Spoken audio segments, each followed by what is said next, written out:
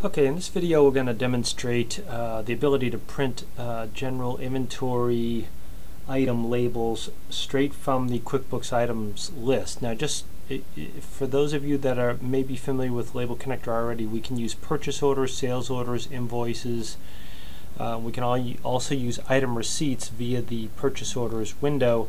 Uh, but we can also, you know, so this allows us to quickly pull up items and print labels, but we can also do is we can use the entire items list from QuickBooks uh, to generate and print labels. So uh, if you wanted to, you know, like let's say search on, here you can see we have wildcard, uh, like sort of a auto-fill feature where you can search on various uh, things that come up with the search criteria. Uh, so if you want to you know, be just searching by letters and things like that. You can search all fields or just in the description.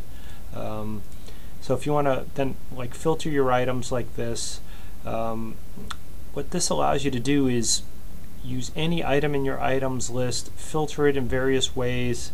Uh, you can see whether it's you know an item that's on sales orders or purchase orders.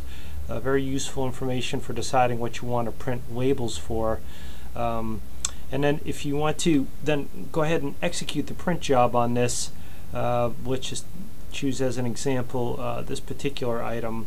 Um, you can see it has total quantity of six on hand. Now we just use this as the print quantity by default, uh, just as to kind of give you a default quantity to use, but uh, you can go ahead and change that uh, by using the edit function, edit the value to print two labels, uh, let's just go ahead. I've created a label here already, uh, target label, and we'll use the XPS uh, printer from Microsoft to just go ahead and just uh, print the test label here. Go ahead and do that.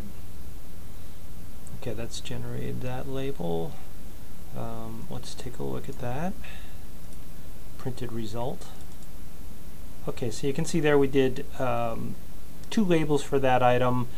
On that particular label design, um, I showed the item name um, and the item description and the sales price. You can also do the item name alone without the category, uh, so you can do it either way. Um, anyway, so just just a helpful video here to show you that if you've got um, lots of inventory inventory already that is not labeled and you'd like to go ahead and get that um, fully labeled in your warehouse or if you just need general items uh, printing of labels uh, we can execute that using the whole items list. Now what our technology here is we are storing and caching um, a background copy of your items out of QuickBooks and you can resync that at any time. Uh, it does it fairly rapidly. We've te tested this for up to 30,000 items.